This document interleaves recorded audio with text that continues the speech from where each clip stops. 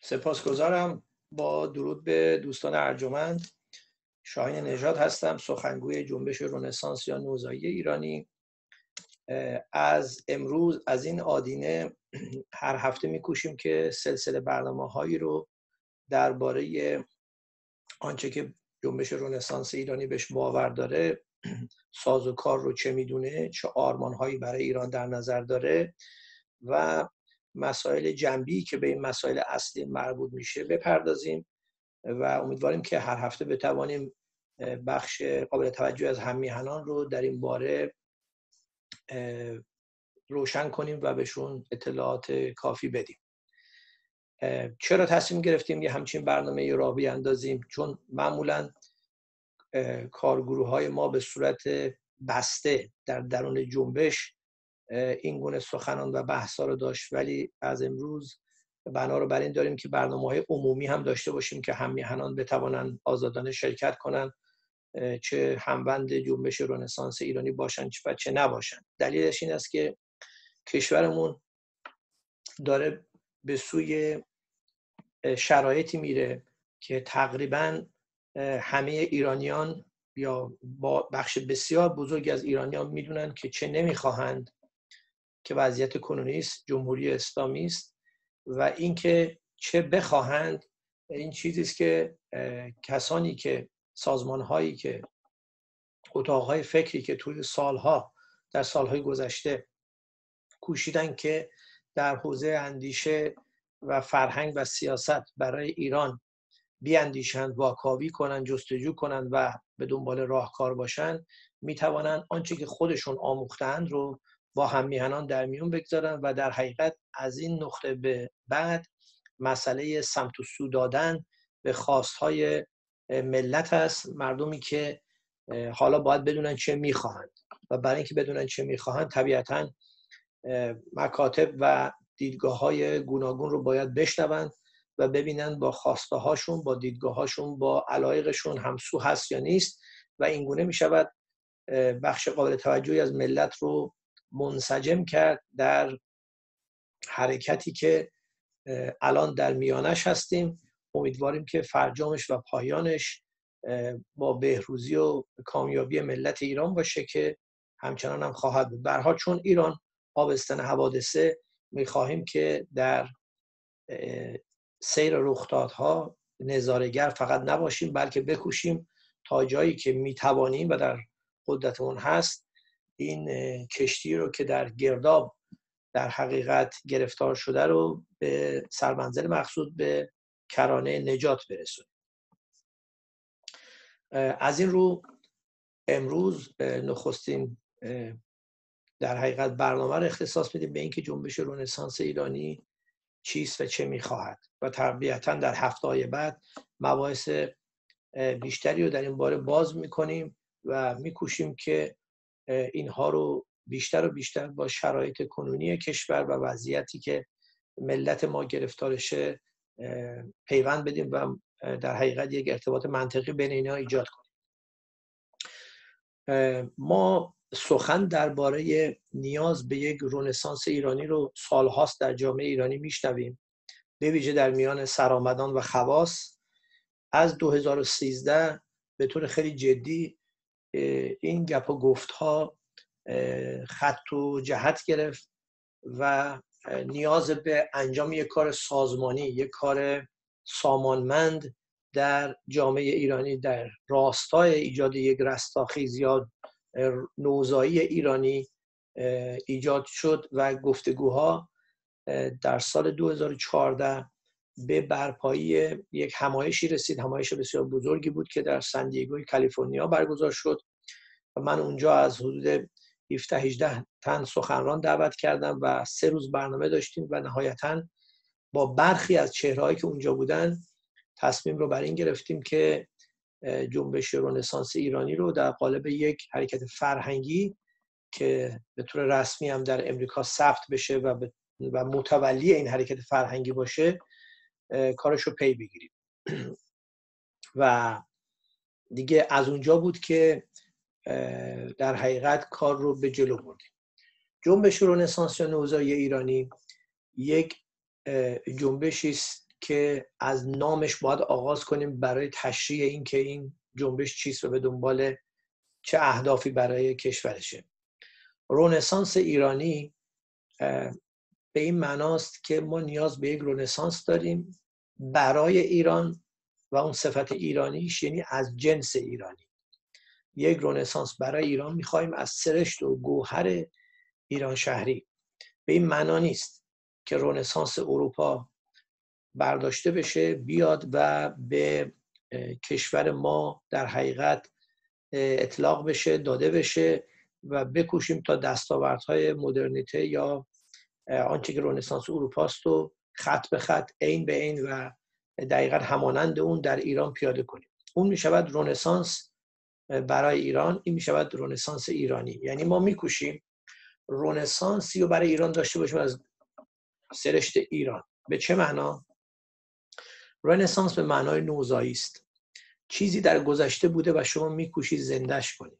چرا حرکت فکری هنری و فرهنگی بزرگی که در اروپا رخ داد که به قرون وسطا پایان داد و اروپا رو وارد عصر روشنگری و سپس صنعتی شدن کرد به رنسانس معروف شد. چرا بهش مثلا نگفتن یک انقلاب فرهنگی؟ می‌تونستن یک نام کلی تر بهش بدن.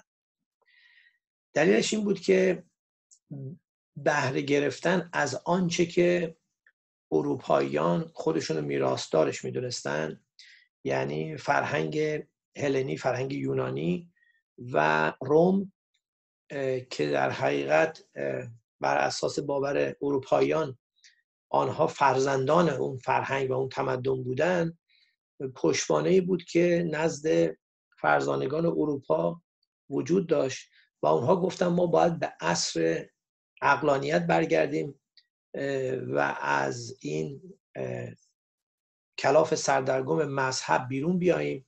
ولی چون در حقیقت یک نگاه بسیار جدی به گذشته ای داشتن که پشت قرون وسطا قرار داشت نام رو رونسانس گذاشتن یعنی نوزایی در اروپا با بهره گرفتن از ارزش ها و جهانبینی که در یونان و تا اندازه در روم جاری بود و با مسیحیت و بعد چیرگی کلیسا بر اروپا در حقیقت به گوشه رانده شده.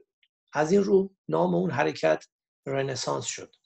برای ایران ما هم به دنبال نوزایی یا همون رنسانس هستیم ولی نوزایی ما بر پایه پشتوانه در حقیقت ملی خودمون و میراثی است که ما از گذشته خودمون داریم نه از گذشته اروپا.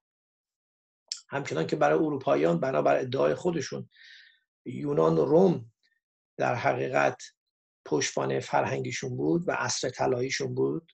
برای ما ایرانیان ایران پیش از اسلام و آنچه که در اون جاری بود به عنوان میراث ملی و آن ارزش های ارزنده که در خورجین تاریخیمون قرار داشته به شمار می اومد بنابراین وقتی می‌گوییم رنسانس از سرشت ایرانی یعنی نگاه به ایران پیش از اسلام برکشیدن آن جهان بینی ها آرمان ها ارزش های اخلاقی و باورهایی که موجب شده بود که نیاکان ما در هزارهای دور در صده های دور بتوانند به فرازهای درخشانی از تاریخ ایران دست یابند که هنوز پس از صده های بسیار طولانی که ازش گذاشته شوربختانه یا خوشبختانه نقطه در حقیقت افتخار ما اونه و کمتر به هزار سال گذشته خودمون میبالیم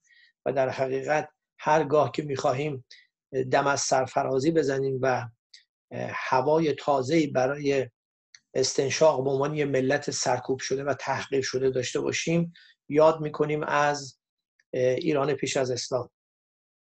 برکشیدن نمادهایی مانند زرتشت، کوروش، دوره ساسانیان و آنچه که از شاهنامه میآموزیم از شاهنامه فردوسی بزرگ همه و همه در حقیقت در اون بخش از خداگاه تاریخی ما جای می‌گیره که حس می‌کنیم با دور شدن از اون پس افتادیم عقب افتادیم تحقیر شدیم زمین خوردیم و هیچگاه دیگر به عنوان یک قدرت جهانی و به عنوان یک ملت سرفراز و توانمند نتوانستیم در جهان خودنمایی کنیم. پس رنسانس ایرانی میکوشه با برکشیدن آنچه که آن رو میراث ایران پیش از اسلام می‌دونه این گسستگی که میان گسستگی نسبی البته گسستگی نسبی که میان امروز ما و ایران ما ایران پیش از اسلام پیش اومده رو در حقیقت تبدیل به پیوستگی بکنه. تاریخ صد ساله گذشته ما دوران رضا شاه کبیر و همچنین محمد رضا شاه فقید یک مطلب رو بسیار بسیار به ما میآموزونه. اگر شما با رهبرانی ایران دوست مثل رضا شاه و محمد رضا شاه و سیستمی که میکوشه مردم رو به سوی بهروزی و خوشبختی و رفاه و داد و عدالت ببره کار کنید. ولی خود مردم قاطبه مردم در حقیقت وارد اون فاز نوزهایی در اندیشه و در منش نشده باشند. خیلی ساده با توتای بیگانگان و با کوتاهی و در حقیقت لغزش بخشی از خود مردم می شود تمام دستاوردها رو یه روزه از دست داد و هرچه که در ظرف چند دهه درخشان رشته کرده بودیم و پنبه کرد. همچنان که انقلاب اسلامی این کار رو کرد. اگر امکاناتی بود اگر شرایطی بود که در چند دهه‌ای که ما قدرت اقتصادی در منطقه بودیم قدرت نظامی در منطقه بودیم ثروت در کشور زیاد شده بود به خاطر بالا رفتن قیمت نفت و به خاطر عملکرد خوب دولت ها در زمان محمد شاه فقید. اگر که موج ایرانگرایی در ایران خیلی در میان مردم تشدید شده بود یعنی حرکت های مثل جشن های 2500 ساله که بسیار حرکت درخشانی بود یه مقداری به میان توده ها به میان مردم برده می‌شد و مردم هم بیشتر به بازی گرفته می‌شدن تو این زمینه و یه مقداری در حقیقت در کتاب های درسی در سریال های تلویزیونی در آنچه که برها ماشین و ابزار تبلیغات دولت ها بود مسئله ایرانگرایی بیشتر و بیشتر جلوه کرده بود احتمالا شاید ملت ما سال 57 یه مقداری نسبت به این جریان بنیادگرایی اسلامی و اسلام سیاسی واکسینه شده بود و مفت و مسلم کشور رو در اختیار جماعت انقلابی قرار نمی‌داد که امروز پس از 41 سال حس کنیم که از هر طرف به بنبست خوردیم و بیرون آمدن از این بنبست این برون رفت بسیار پرهزینه خواهد بود که ممکنم باشه ولی به حال چاره ای نیست. بنابراین اگر فردای نبود جمهوری اسلامی ما به دنبال این باشیم که فکر کنیم با داشتن یک قانون اساسی خوب و با وضع قوانین غیر اسلامی غیر مذهبی و با داشتن چند تا دولتمرد خوب و توانمند و ملی و ایران دوست بتوانیم که شرایط بسیار متفاوت از شرایط امروزمون رو رقم بزنیم به نظر من ساده اندیشی و خوشبینی کردیم تا هنگامی که ما این اصاره ایرانگرایی رو و برکشیدن ارزش های ایرانی مانند خردگرایی مانند دادگستری مانند آبادگری مانند رواداری مانند شادزیستی و از این دست رو در میان جامعه جاری نکنیم خود مردم ما می‌توانند در مقاطعی یا بخشی از مردم ما می‌توانند در مقاطعی باعث و بانی آسیب به کشور بشن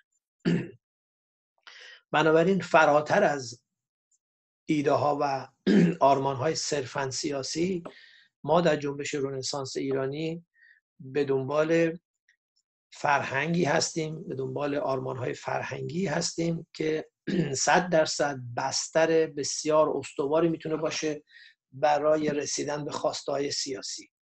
به عبارت دیگه ما می‌خواهیم که این بار برآمدن یک حکومت ملی و یک سیستم ایرانی و ایران دوست و دلسوز برای ملت ایران و توانمند برای ساختن ایران یک فرایند پایدار باشه و به گونه بر روی زمین آبرفتی بنا نشه که دوباره با یک طوفان اسلامی بیخوبونش کنده بشه و ما باز تجربه تلخ دیگری مانند انقلاب اسلامی رو در آینده برای نسل بعد یا نسلهای بعدی شاهد باشیم. همچنان که گفتم چون ما یه جنبش فرهنگی هستیم خودمون رو یک سازمان سیاسی مطلق نمی‌دونیم ولی در ایران چه بخوایم چه نخواهیم فرهنگ از سیاست جدا نیست. در نتیجه جنبش فرهنگی هستیم که مطلقا نسبت به کشورمون و آنچه که برش میگذره بی تفاوت نیستیم.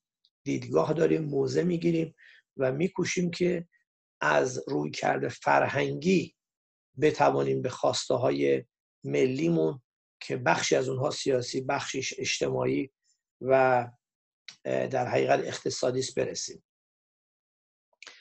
جنبش رنسانس ایرانی یک جنبش دینی نیست یک جنبش مذهبی نیست.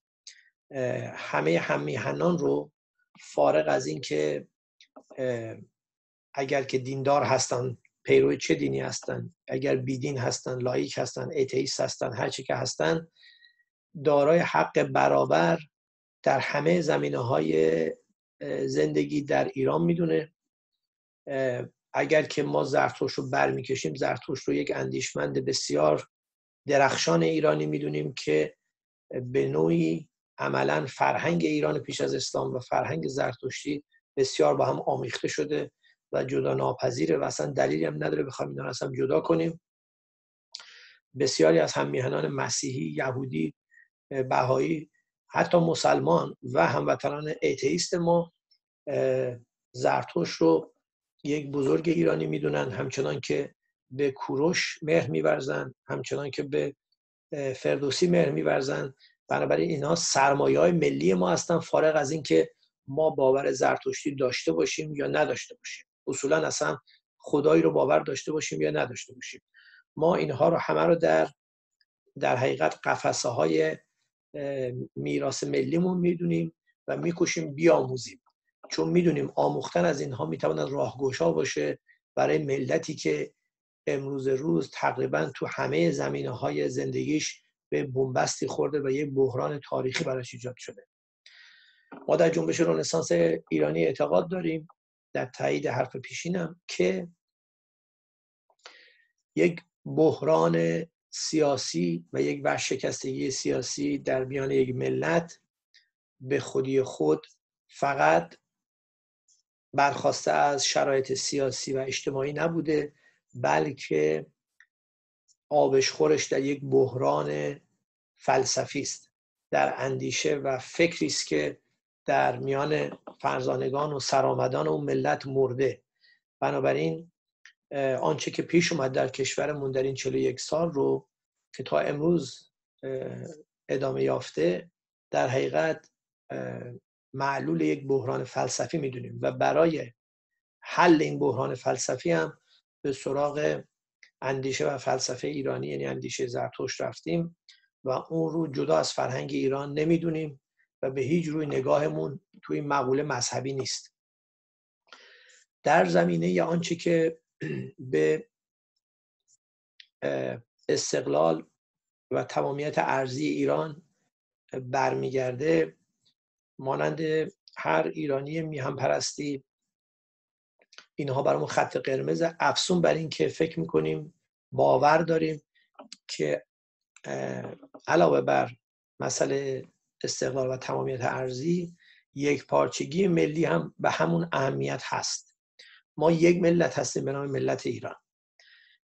کسانی که ملت ایران رو حتی بدون که نظر بدی داشته باشند موزایی که از اقوام می‌دانند یا با مباحث مربوط به ملت و ملیت و ملی آشنایی ندارن یا دارن در حقیقت یک سمی و وارد جامعه ایرانی می‌کنن. ما مفهومی به نام ملت ایران رو داریم به عنوان یک مفهوم واقعی که به دلایل مختلف خودش رو در قالب ملت نشون داده. کوچیک کردن ملت ایران به اینکه مجموعی از اقوام و قبایل و تیره هاست در حقیقت برخواسته از نگاه چپ سنتی است که امروزه متاسفانه وارد برخی از مباحث لیبرال هام شده. ملت ایران فارغ از این که از کدوم بخش ایران هست در خونه به چه زبانی صحبت می‌کنه به چه مذهبی باور داره یا اصولا نداره به چه طبقه اجتماعی وابسته هست حتی چه گرایش های جنسی داره یا نداره. همه و همه از نظر ما در برابر قانون باید برابر باشند و حقشون از کشور باید به اندازه دادگرانه داده بشه. آنچه که ما امروز می‌بینیم تو برخی از استانهای کشور مانند آسیبی که برخی از همیهنان بوکانی و سردشتی و سنندجی ما از کولبری دارند یا مصیبت هایی که هموطنان ما در سیستان و بلوچستان از بیتوجهی دارند یا فقر و گرفتاری هایی که ما در استان بوشهر و استان هرمزگان یا استان خراسان جنوبی و بخشای از استانهای کرمان و مناطق دیگر کشور می‌بینیم که به هیچ روی به هیچ روی مسئله قومی و قبیله ای نیست بلکه کاملا در همه جای ایران قابل مشاهده است. فارغ از اینکه اون مردم سنی شیعن یا بیدینن فارغ از اینکه اونها فارس زبانن یا غیر فارس زبانن این گرفتاری گرفتاری است که برای ایرانیان پیش اومده و مسببش جمهوری اسلامی است. ولا غیر. بنابراین ما در این حال که مردم ایران رو به هیچ روی به اقوام و تیره ها تبدیل نمی کنیم و تقسیم نمی کنیم و به این صورت نمی‌شناسیم همه ایرانیان رو در سراسر سرزمینمون داره حق برابر می‌دونیم برای آنچه که نعمات و مواهب کشور همچنان که در هنگام سختی و گرفتاری هم همه مردم رو مسئول می‌دونیم برای دفاع از کشور و برای رسیدن به حل دشواری های بزرگ کشور دوچارش. در باره همکاری با دیگر سازمان ها و احزاب جنبش رنسانس ایرانی به طور پیوسته با هماندیشان و همفکران در سازمان های ایرانگرا ارتباط داشته کار کرده حتی همایش گذاشته و نشست داریم گفتگو می‌کنیم از طیف های ملیگرا ایرانگرایی که پیشینه خوبی داشته باشند سابقه همکاری با انقلابیون رو در ایران نداشته باشند و امروز هم جزء به اصطلاح دسته های و گروه های خوشنام جای می‌گیرند با کمال میل همکاری می‌کنیم و همکاری خواهیم کرد. بیشتر از این نمی شود در یک نشست به آنچه که باور داریم و آنچه که می‌خوام بهش برسیم بپردازیم. طبیعتا به نشست های بیشتری نیازه. میکوشم که از دوستان دیگر هم بخواهم بر هفته های آینده نیروهای توانمندی که در جنبش هستند روی موضوعات متفاوت زوایایی از دیدگاه های جنبش رونسانس یا نوزایی ایرانی رو با شما همیانان در میون بگذارن.